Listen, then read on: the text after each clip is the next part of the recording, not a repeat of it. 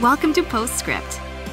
Here we hope to answer your questions and help you dig deeper into the messages and sermons at FaithBridge by talking with the teacher of the day.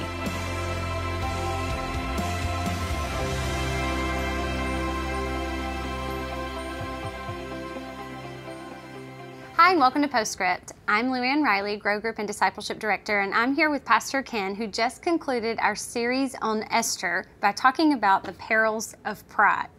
And so, pride really, from the first week, we see it in the first King session in Xerxes. King Xerxes, Yeah. and then we see it again in his right hand man. Haman.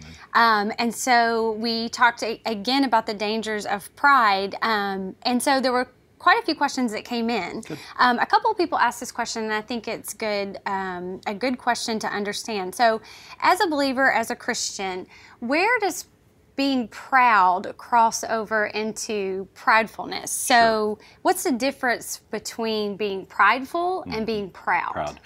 Right. Well, it's a fine line. So I don't know who the questioner was, but let's suppose uh, they have some children. And so sometimes we parents say, I'm so proud of you.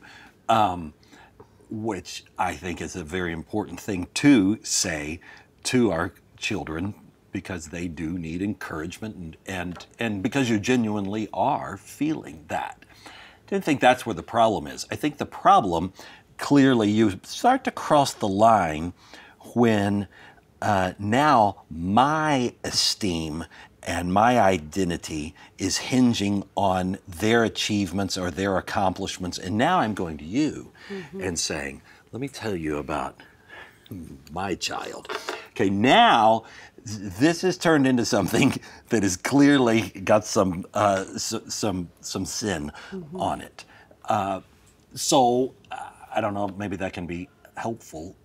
I- think there is probably a good deal of subjectivity. Sometimes a question like this, we we we just want it kind of nice and mm-hmm. Black and white. put it in a box. Well, I don't know that we can. Some of these things are kind of oozy. You know, that's interesting that you talked about how pride can show up in superiority or inferiority. Inferiority. So I would imagine the same. Like Sure. if you're hurt because your child's not performing well, yeah, right. then in the reverse, there's some sense of pride Sure. And that if you, you, need just to keep feeling. going on and on and on, these people are doing my child wrong. Okay, maybe you, your kiddo got a bad break, but is that what you're going to build your identity Mm-hmm. on Right. from from now till kingdom comes, Mm-hmm. uh, or, or might we move on? Um, because this is not good for your soul if if it's If you're finding yourself in that place. Good point. That's good. Um, so Matthew 23 12 says that he who exalts himself will be humbled, Mm-hmm. but whoever humbles himself will be exalted. Hmm. Your message focused on the former, which the prideful being brought Brought low. low. Can you speak to the latter, what it means that the humble will be exalted? Sure.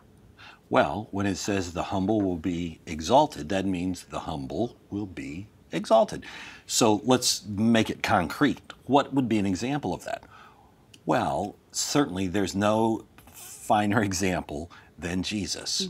We learn in Philippians 2 um, about how this humble Savior came into the world, uh, leaving behind the privileges that he had of um, being God, taking on the form of a man, becoming flesh and blood like you and me, becoming one of us. He can relate to us, having a, a life here on earth, being tempted. And, and so he models this humility, he serves and everything like we were talking about in the message and goes to the cross. Does it get any lower than that? No. But then, what does God mm-hmm. do? Raises him to life. And he's our Savior and the King, and, and, and so. So there's an example. But you can find examples really all the way through. I, let's go back to uh, Joseph. Now, his father tried to exalt him, uh, maybe a little prematurely. pride. Yeah. And that didn't probably help things because he probably was a little proud about that. And favoritism is never a good thing in a family dynamic. And so he gets sold off into slavery and he goes down. And well, he was getting humbled, humbled, humbled, humbled, humbled, humbled, humbled. And Now he's in the dungeon, prison, wondering, am I going to spend the rest of my life there? Well, one thing and another, God exalts him. Uh, prior to that, I think of Moses, who had grown up the prince of Egypt, and he had it so great, and then he kills that guy and runs off in the backside of the desert and spends 40 years. And he thinks my life is over and I'm never going to do any other significant things. And then God shows up in the burning bush and says, You're going to lead my people. You know, and so uh, you can look at King David, who was tending sheep. And then God says, No, you're going to be my king. That guy is going to be the king, just little old shepherd boy David, you know. And, um, so you can go through the scriptures and you can find all of these instances: Daniel, Shadrach, Meshach, and Abednego. All these people that were that went low, but then God would raise them up. Uh, certainly, you move into New Testament times, and and you see the disciples. Several of them came from maybe some privilege or at least some wealth, the tax collectors in particular. But you get the fishermen. Well, it doesn't get much lower than that. Now they're going to be in the inner circle, and we're going to still talk about those fishermen 2,000 years later in church and these sorts of But even they, when they got with each other, what started sneaking in? Pride. Which one of us do you like a little bit more than the others, Jesus? Which one's going to sit on your right hand? And, you know, and so he even there had to deal with the disciples um, uh, about that. In more modern times, I mean, I think of Mother Teresa. Well, there's a lady who, who went after the lowest of the low and the poor and the sick in India and just gave her life to. I don't, I don't think she had any PR agents that companies that were going around telling, you know, getting the spotlight on her. But the world did find her, and the spotlight did find her. Um, I think of Corrie ten Boom, who was off in the concentration camp. Why? Because she had tried to protect some Jewish people during uh, the days of Hitler um, from from being extinguished, and um, so she ends up in the pro- concentration camp. Her, her fam- some of her family dies in the con- yeah. concentration camp, but but then she comes out and has a story to tell, and she speaks around the world, and became quite a famous person, and, and was, you know, lifted up. Now she's in in glory. Um, but even she was asked that question: What do you do, Corrie, now that you've got this great story and you speak to stadiums full of people? And she said, Well, every compliment I get, I think of as a rose. And I put all my roses in a bouquet every night, and then I present them to the Lord, which is a good word. Um, so, you know, I, I think um, there's some examples. I think the, the objective for us is probably to set our sights on how can I put on the overalls of humility, mm-hmm. Mm-hmm. the clothing of humility Peter talked about. How can, well, what's that mean? That means who could I go after and serve? Mm. Um, not so that I'll be exalted, but just because that is what Christ did. I'll just give my life to serving. And maybe I'll never be exalted this side of heaven. Maybe no cameras will ever find me. Nobody will ever know my story. That's okay. God will. And He will exalt uh, in His good time. So I'm going to go after what He's called us to, to go after. It's good. And it's interesting that you brought up about um, the roses Hmm. because next question I have says, so as believers, are we supposed to walk through life never being acknowledged for the good things we do or accomplish? Yeah, well, I wouldn't. Uh, the, the question's asked in an interesting way. Um, I think the answer, I mean, one of the spiritual gifts, it, when you come to the four lists of, of spiritual gifts um, in Corinthians and Peter and Ephesians, is that gift of exhortation or encouragement. And so part of the, the, the giftedness of the body of Christ, uh, some of the Christians are just really good encouragers. And that's really what they're good at, is just giving you attaboys and, and making you feel like I can do this. To encourage means to breathe courage, to encourage life into another person. So obviously, it's not a sin for encouragement to be given. In fact, it's a gift that he has put within Christians to give to one another. I think though the the the danger comes if we get out our Easter basket and start going from person to person saying, put some in my basket, please, uh, now, tell me how great I am, tell me what good things I've done, and, and this sort of thing. I think that is now maybe turning into that, that, that pride thing maybe superiority, maybe it's inferiority. It can take either of those ways. Mm-hmm. That's good.